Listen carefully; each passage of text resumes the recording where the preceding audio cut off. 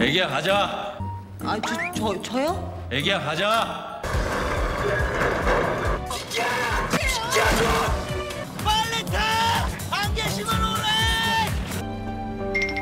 스승님, 부각이 올바르지 않습니다.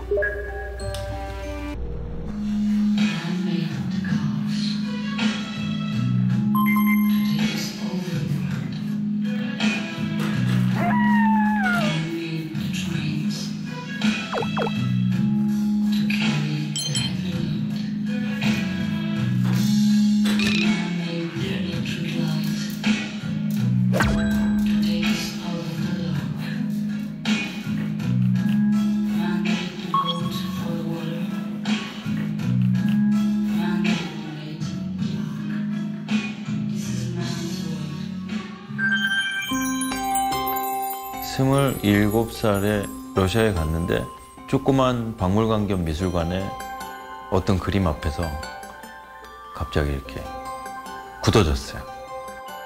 여기에 박하사탕이 들어온 것 같은 박하사탕이 여기서 이렇게 확 퍼지는 것 같은 그런 그 감동이 어, 고스란히 계속돼요.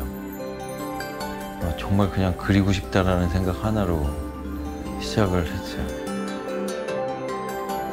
저한테는 무한한 자유의 공간인 것 같아요. 평생 동안에 생각과 노력이 담겨 있는 작업실을 바꾼다, 엿본다, 너무 즐거운 일이죠.